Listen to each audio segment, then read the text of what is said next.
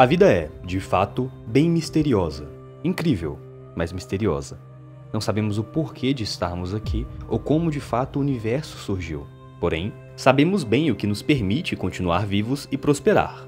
Uma dessas verdadeiras fontes de vida é o Sol, a estrela mais próxima de nós. Você sabia que ele já tem seus dias contados? Fica por aí, pois hoje vamos conhecer detalhes bem interessantes sobre a nossa estrela, que vão te deixar ao mesmo tempo entusiasmado e talvez com um pouco de medo.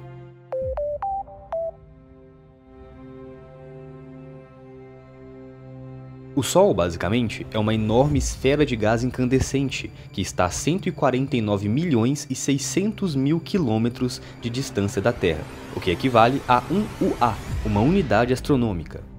Dentro de seu núcleo acontecem reações termonucleares, mais precisamente fusões nucleares. Devido à intensa pressão no interior da estrela, átomos de hidrogênio se juntam para formar átomos de hélio.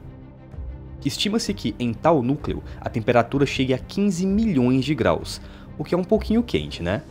Em relação ao tamanho do Sol, seu diâmetro equatorial tem cerca de 1 milhão e 390 mil quilômetros. Sua massa é cerca de 130 vezes superior à massa do nosso planeta.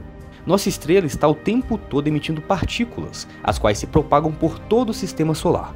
Esse é o chamado vento solar, que possui uma velocidade de várias centenas de quilômetros por segundo. Quando o vento solar é mais forte que o normal, o contato dele com partículas de nossa atmosfera dão origem às auroras polares ou auroras boreais, um dos fenômenos mais impressionantes que conseguimos observar.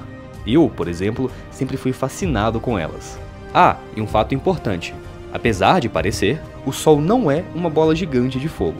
A luz e o calor que sentimos provenientes dele são resultados do gás hidrogênio, aquecido a incríveis 2 milhões de graus.